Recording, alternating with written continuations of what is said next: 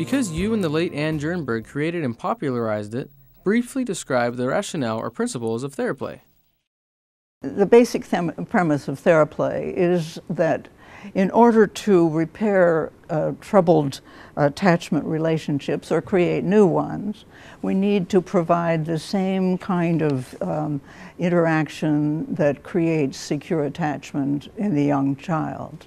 These repeated patterns of interaction that happen between a child and the parent in the first two years lead to um, patterns of expectation, um, ideas about how the child feels about himself. Children who come for treatment have missed out on um, early experiences that would lead to their uh, being able to self-regulate. So in, in Theraplay itself, we do pay a lot of attention to helping children um, really be calm or to be more uh, lively and engaging if that's what they need. If a child has missed out on those good early experiences, um, we need to provide them in very much the same way that um, the parent would have provided it when they were a child, uh, for um, infants.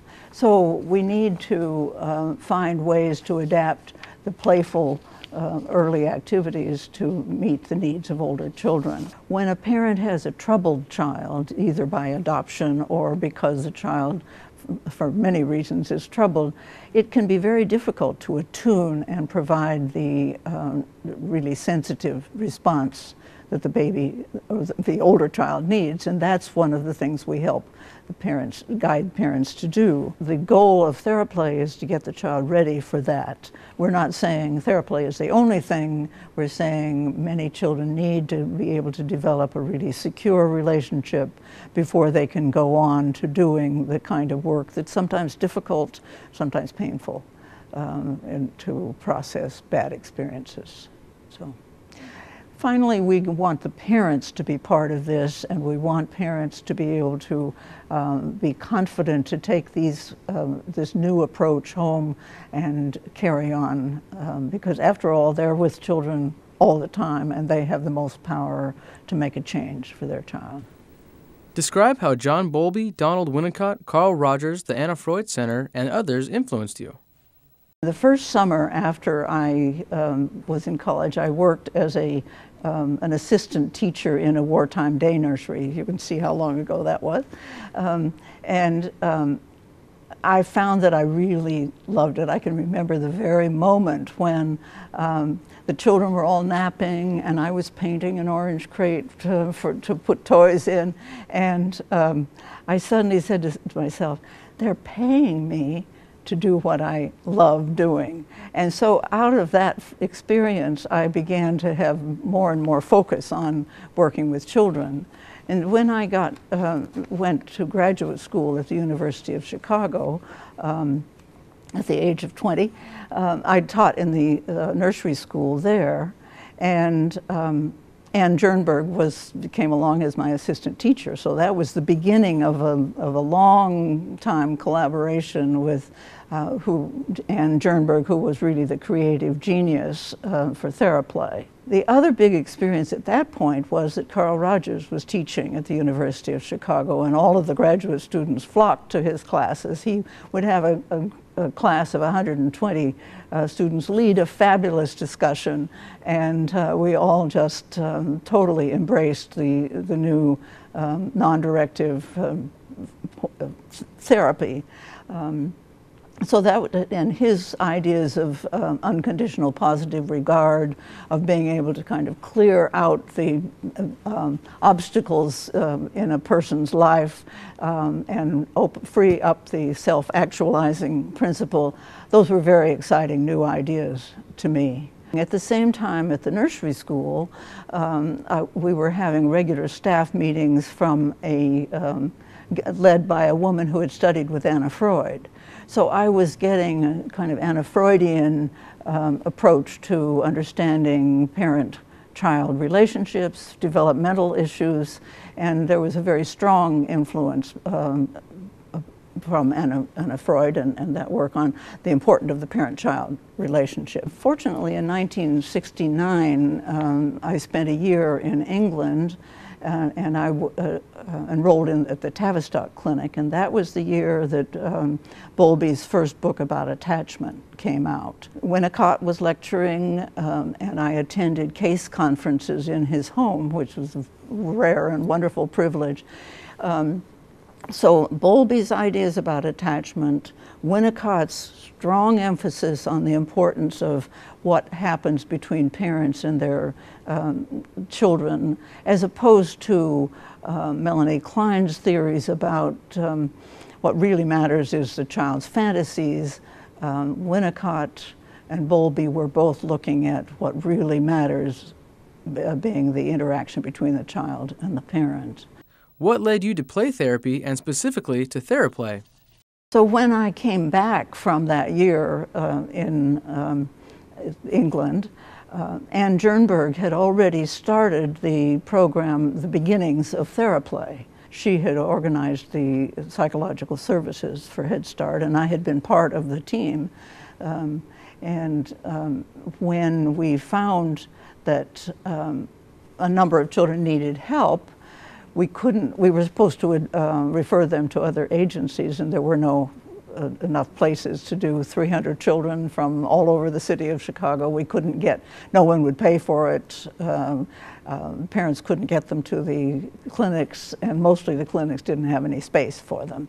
So Ann Jernberg had developed um, a, a, program where we would go in, uh, provide treatment for the children. And she started that the, during the year that I was in England. And when I got back, um, then um, I was very actively involved with both the uh, providing the, the, therapy and working, um, supervising other people doing it. Um, she took as a model of just a very playful, interactive kind of model based on the work of Austin DesLauriers, who had been um, working with adolescents in, in a playful, hands-on way, and Viola Brody. She contributed a kind of nurturing, um, gentle, um, playful aspect to what uh, Ann's model. And then I came back from um, uh, England and um, brought ideas about attachment. Together, we began to say, okay, this is what we are doing. We are changing these children's internal working models by providing them with a new, different experience. The amazing thing was that just going in and playing with these children made a difference. Why are touch and eye contact so important to Theraplay? What challenges do we face when we make use of touch and Theraplay treatment in the current climate of restricted touch? You can't think about parents and babies without thinking touch and eye contact. Babies look intently into their parents' eyes. Parents look at their babies.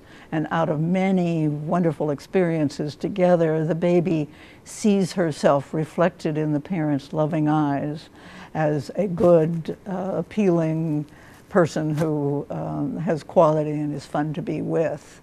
Um, touch is absolutely essential to that early experience. It provides the soothing, um, experience. It helps the child uh, understand his own body. Um, gives him a sense of safety and security. There's a lot of research by people like Tiffany Field um, about the importance of touch. Um, um, makes a huge difference for premature babies to be touched. They thrive much better um, than if they're not touched.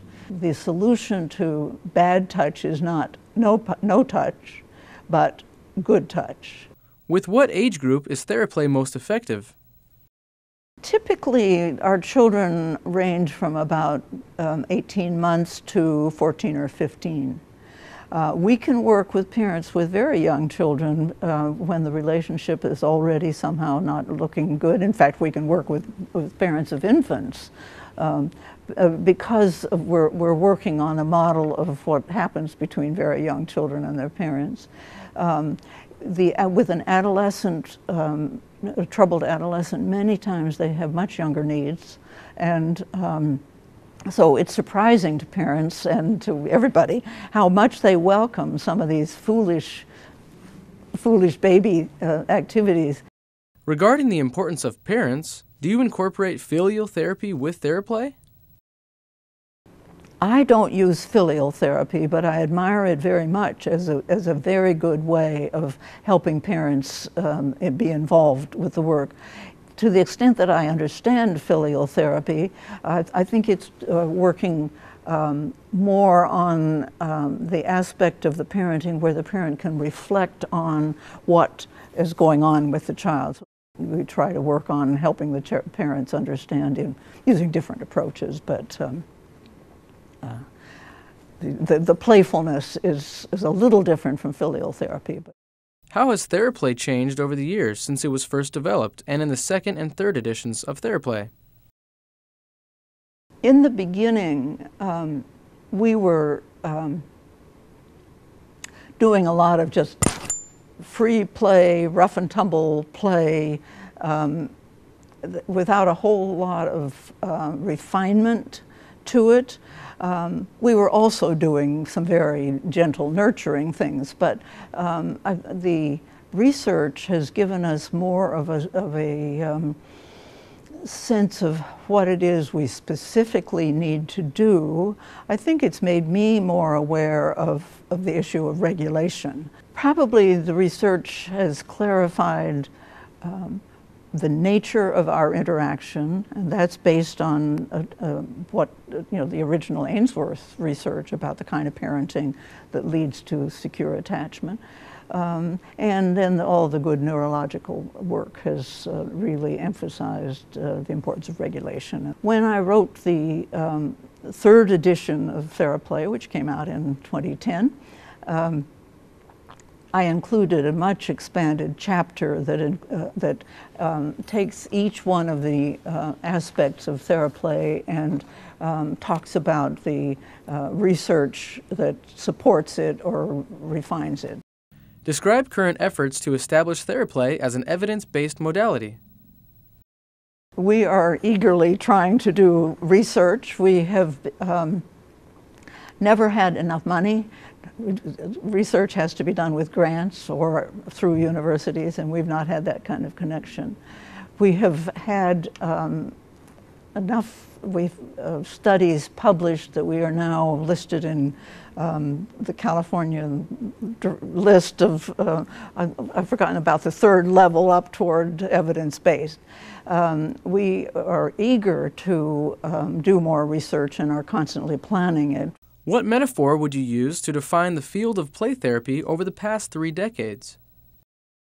APT has been like uh, an attachment figure um, that has allowed us um, uh, to, it has provided a kind of holding environment, to use the Winnicott phrase, within which we can um, grow and flourish.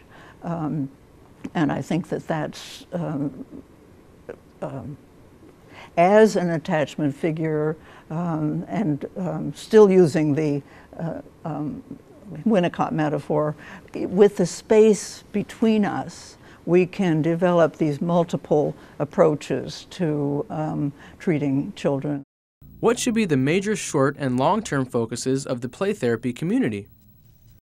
The major focus um, should be the research. I know that, that uh, APT is working on this with this wonderful um, uh, attachment uh, module during the conference um, to incorporate attachment theory into the work um, and um, to think more about how parents can be partners in, in play therapy um, because they have such a powerful influence on their children.